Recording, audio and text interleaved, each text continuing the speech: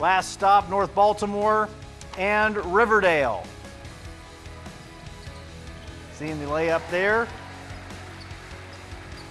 Action continuing as the steal and the finish up with the left hand. Riverdale getting the 47 34 win over North Baltimore tonight.